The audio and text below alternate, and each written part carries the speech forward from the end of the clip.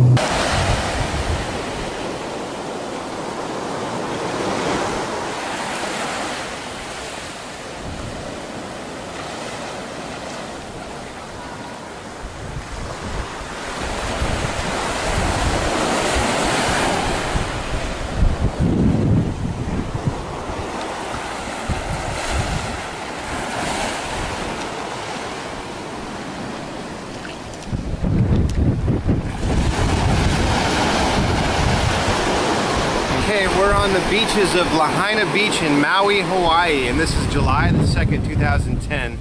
This is my sweetheart Bethany's birth birthday. This is the Molokini crater created by the meteorite. This crater was made by a meteorite many years ago and uh, half of the uh, meteorite circle impact dissolved and the other half stayed. All right, here's the Red Fort in Agra. It's a little bit bigger than the one in Delhi.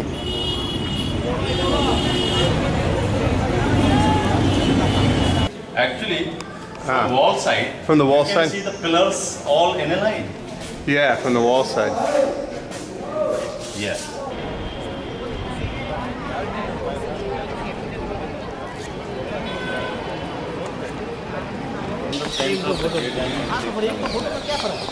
रहने दो रहने दो मैं करने जा रही है मुझको ठीक है आप ले जाओ Okay, I'm standing at the Taj Mahal in Agra, North India, in Uttar Pradesh, and so we're enjoying our time. Uh, Beth and I, it's our first time to visit the Taj Mahal, and it's our romantic date getaway. And so come on along with our trip and let's take a look.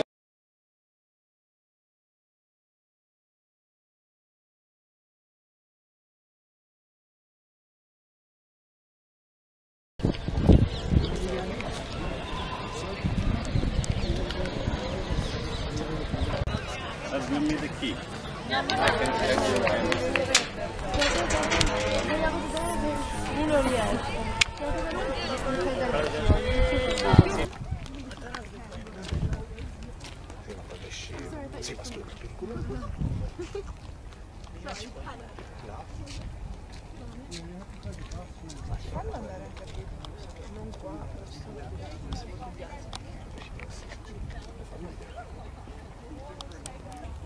Grand Canyon is very vast and large and very beautiful.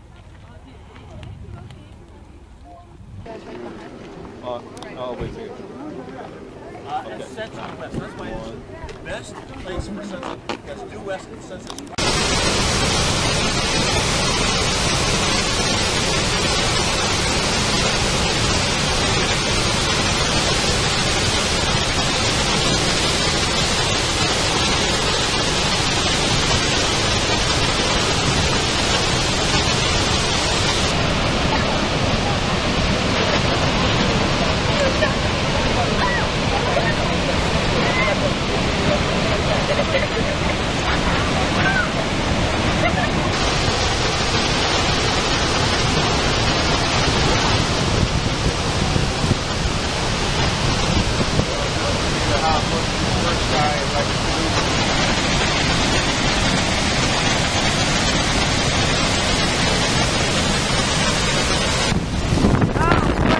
Look at this. It's amazing.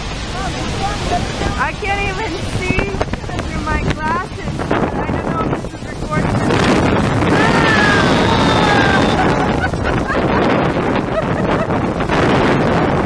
Oh, we're getting wet. We're getting drenched. So the Niagara River flows from Lake Erie into Lake Ontario. And the falls here is about halfway down that river as it forms the border between USA and Canada. And so that's why there's so much water that's continually flowing, tons and tons of water over the falls, because it's coming from one lake emptying into another lake. And so behind me what you see is the American side of the falls. We can say that we took a shower today in the Niagara Falls, giving us a shower. Ah. oh my land. I just got wet. Oh my land.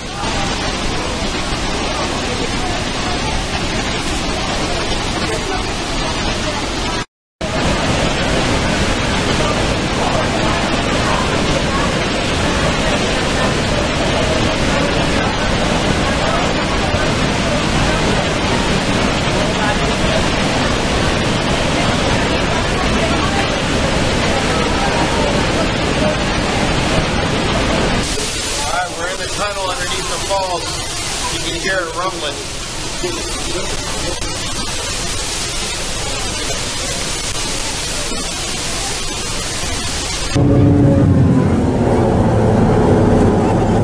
It's beautiful with downtown Sydney right behind you.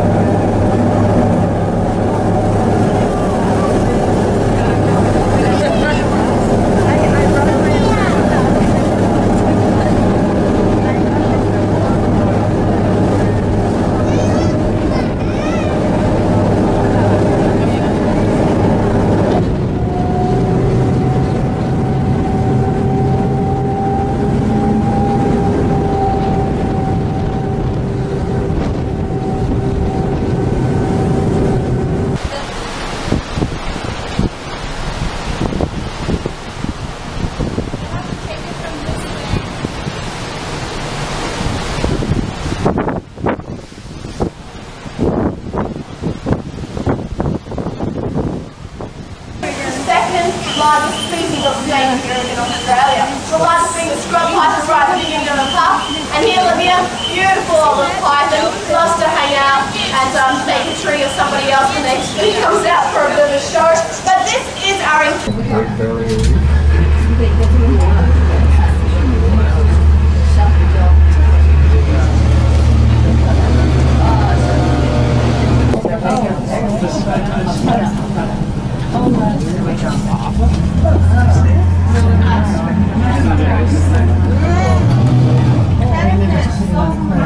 Oh, I see some jellyfish, You see jellyfish?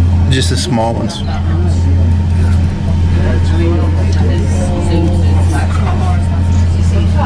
All right, we're down under. We're here at the Great Barrier Reef here in Australia, and we got our first taste of what it's like to see some coral and.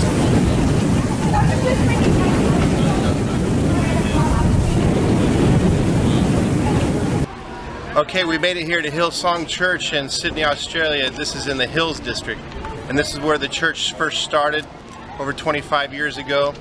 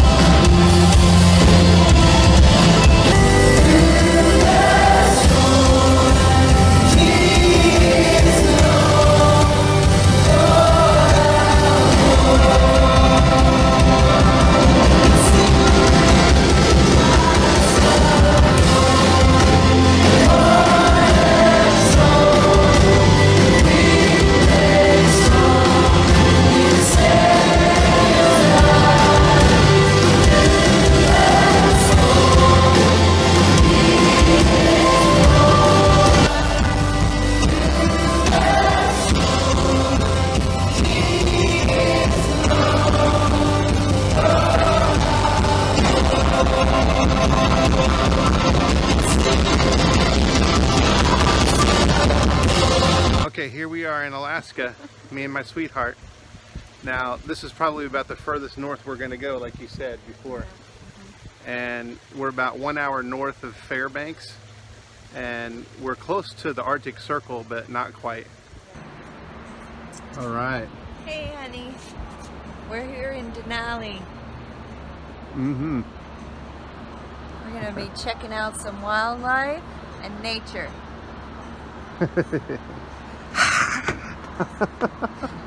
There's a bear in the forest. Close to the top.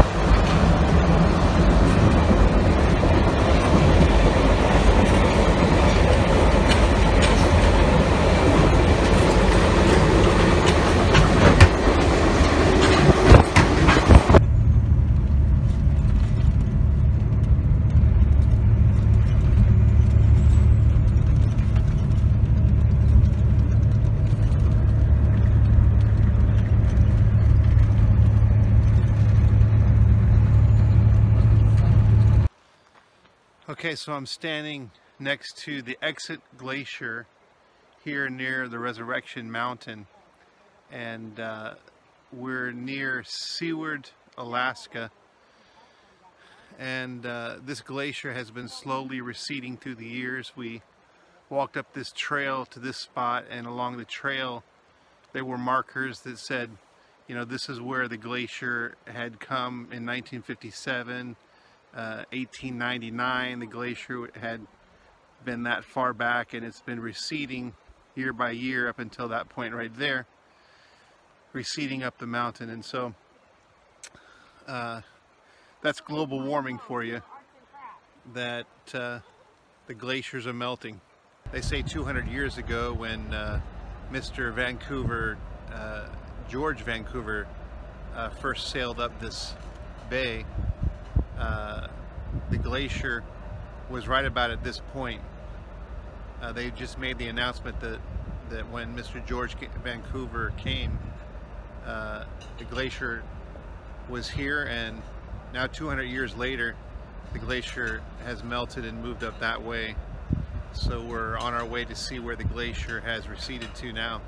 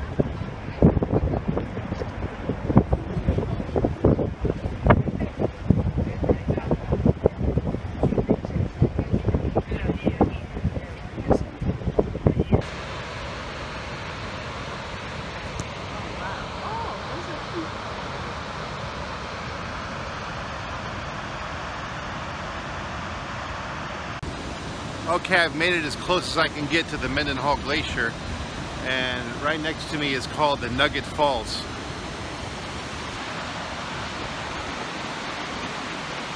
So it, it took about 20 minutes for me to walk from the visitor center up to the falls here along the bear trail and now I've got to walk back.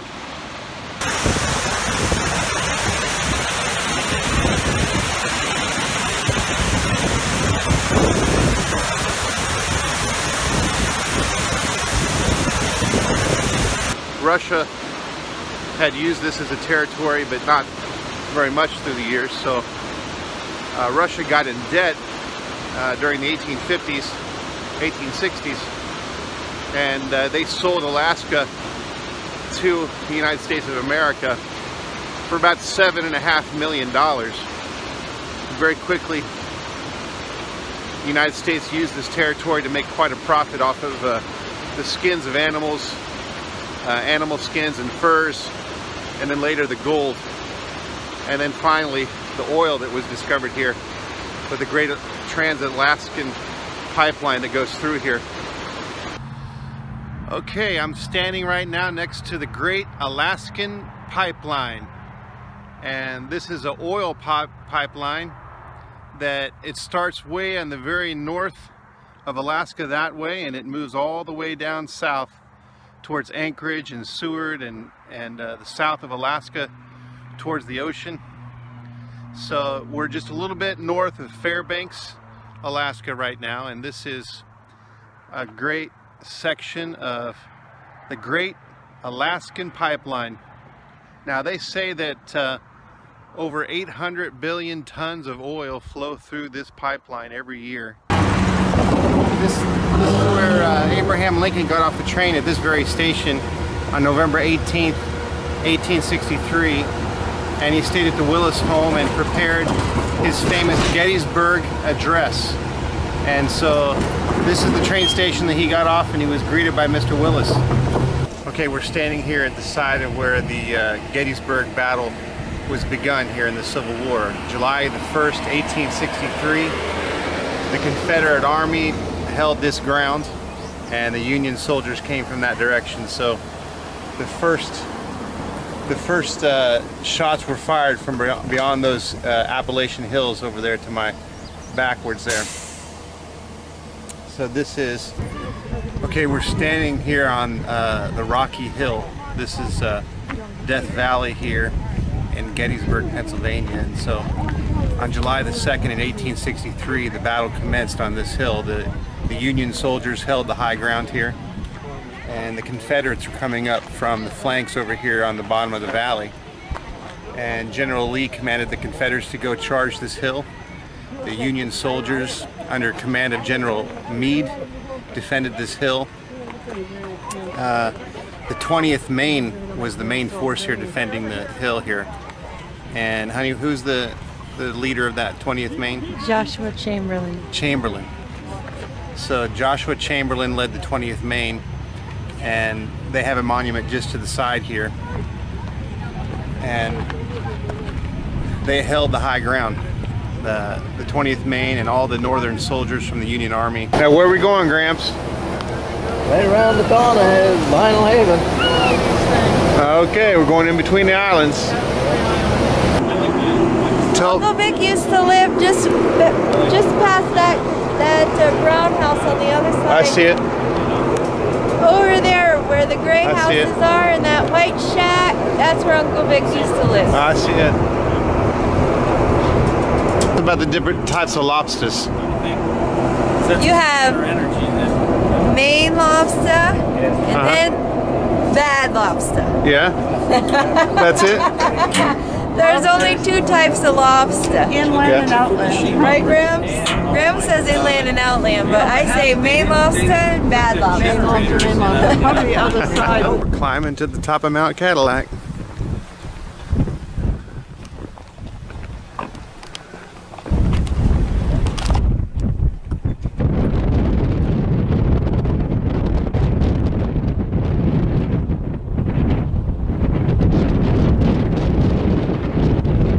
Okay, so we're here in Key Largo, Florida.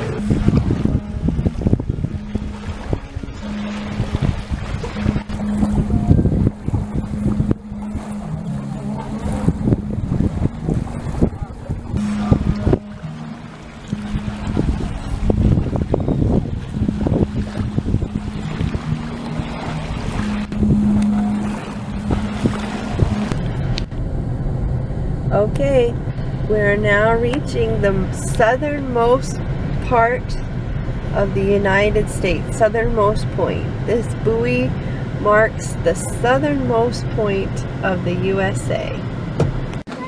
Okay, now we're here at Mount Vernon. This is George Washington's home in Virginia, right off the Potomac River, south of Washington, D.C. We went inside and we checked it out.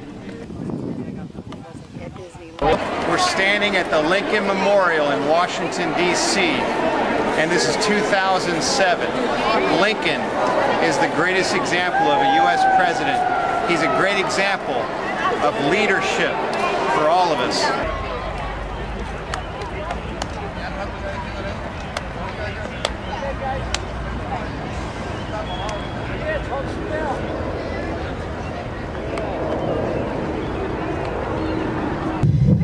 Okay, this is White House correspondent Doug Pearson reporting in the home of George W. Bush, who is now signing a bill into law, a bill that will require all Americans to give $1,000 a year to missions. That's right, $1,000 a year, uh, split between Central Asia and India. Now, Americans will have a choice. They will have a choice. They will. Now, this bill is uh expected to pass Congress since it's a Republican Congress, and uh, the uh, the majority leader in Congress right now is uh, Bill Frist. He's a born-again Christian who works with uh, Samaritan's Purse, Franklin Graham's ministry, and is a doctor and goes and does missions in Africa and the Sudan. And so they might get a little bit of money from Pastor Shabeli in Africa, but it's mostly going to Central Asia and India. And Uzbekistan, watch out, you're going to get some support because we love you here in America. We love Uzbekistan. Okay, Joseph. I don't know what to say. These news are shocking to me. Like I never, I never even expected to be so loved and so appreciated here in this country. That's awesome.